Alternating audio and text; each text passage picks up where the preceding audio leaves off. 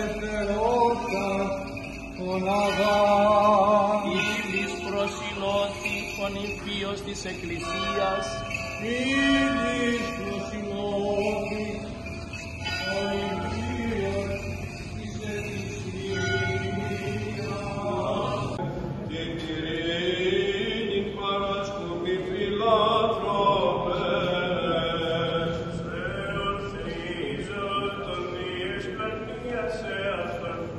peccior li chiera salvare.